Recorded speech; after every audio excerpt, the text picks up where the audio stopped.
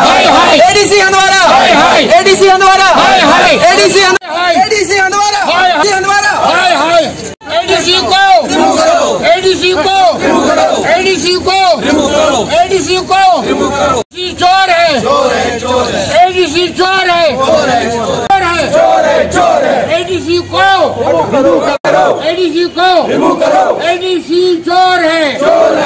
मैं प्रेस वालों से ये गुरुदेव खुद देखे कि एडीसी ऑफ़िस बंद है वो एडीसी यहाँ पर नहीं है।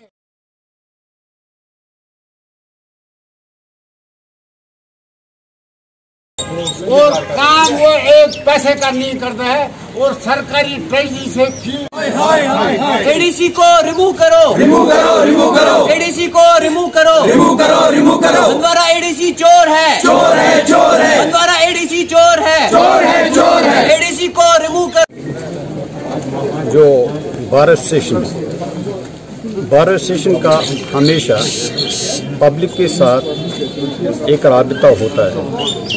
और भारत स्टेशन हमेशा पब्लिक कन्वीनियंस को देखती है।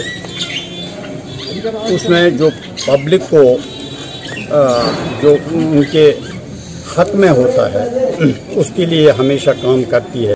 मालूम ही होगा कि जब कोई रजिस्ट्रेशन आती है तो उसमें हज़ारों नहीं, बल्कि लाखों का फ़ीस लगा हुआ होता है।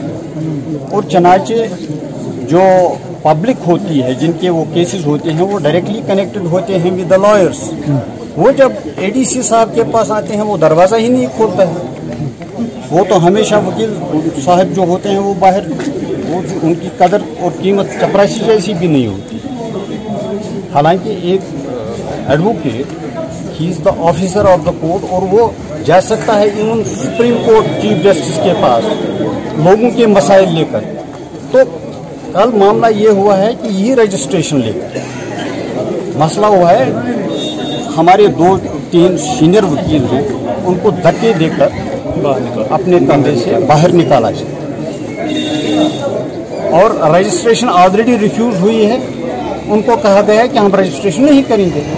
सिंपल सी बात है, अगर रजिस्ट्रेशन नहीं करने हैं तो लिख के देने किसी और ऑफिसर को अपॉइंट करें रजिस्ट्रेशन के लिए। ये मसला कल ही नहीं हुआ। ये आज ये आज एक ही बार नहीं हुआ। मसला ये है कि एडवोकेट्स के साथ ऐसा बिहेवियर जो बिल्कुल नाश- नाशाइस्ता हम नहीं कहेंगे। दैट्स ए क्रिमिनल बिहेवियर ये ये use of assault against a lawyer ये हुआ कि हमारे पास बहुत सारे मतलब जो भी लिटिगेंट्स हैं उन्हें हमें अप्रोच किया ऑफ़िस में। And they informed us about the malpractice and corruption going on in the ADC office ये पहला डायमेंशन दूसरा हमारा ये था कि हमें जो अपील्स फ़ाइल करनी होती है we have to file the appeals in the same office पिछले एक महीने से जब भी कोई लॉयर जाता है, इसके ऑफ़िस में अपील फ़ाइल करने तो ये हमेशा हमारी अपील को रिफ्यूज करता है ऑन वन प्रीटेक्स्ट और अनदर तो अब ये मसले हमने सोचा, हमारे जो एक प्रेसिडेंट है ऑनरेबल हमने सोचा कि हम इसकी नोटिस में लाएँगे। भाई, अगर आप काम नहीं कर रहे हो तो रीजन क्या है? You have been given a task by the government you are here for the public but आप लोगों का काम क्यों नहीं कर रहे तो इन दिस कनेक्शन हमारे प्रेसिडेंट साहब जो है, वो इनके ऑफ़िस में आए। ये भाई साहब अंदर कुर्सी पे बैठे थे। तो नॉर्मली एक डिस्कोर स्टार्ट हुआ, भाई, काम क्यों नहीं होता? तो suddenly he started abusing our president एक फिलो एडवोकेट भी थे उन पे भी हमला किया उनको ऑफ़िस में कन्फाइन किया उनको ऑफ़िस में कन्फाइन किया और वहाँ पे गाली गलूज वगैरह इवन की थ्रेट भी और धमकी दे दी कि मैं मैं मैन हैंडल किया उनको।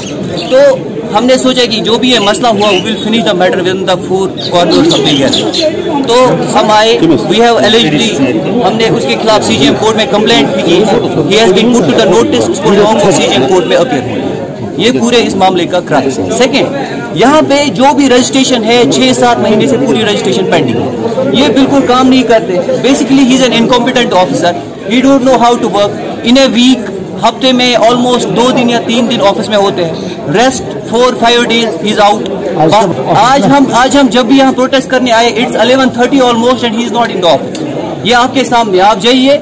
He being the administrator of the sub district साढ़े ग्यारह बजे एडीसी साहब ऑफ़िस में नहीं। I think this define his all कार्रवाई ये है कि हम गवर्नमेंट से अपील करते हैं एडमिनिस्ट्रेटिव पॉइंट ऑफ़ व्यू से कि उनको जल्द से जल्द एक तो he may be put under inquiry second with immediate effect he may be transferred second जो हमने जो लीगल डायमेंशन है, इसका जो एपिसोड हुआ उनके ऑफ़िस में that court will see we we have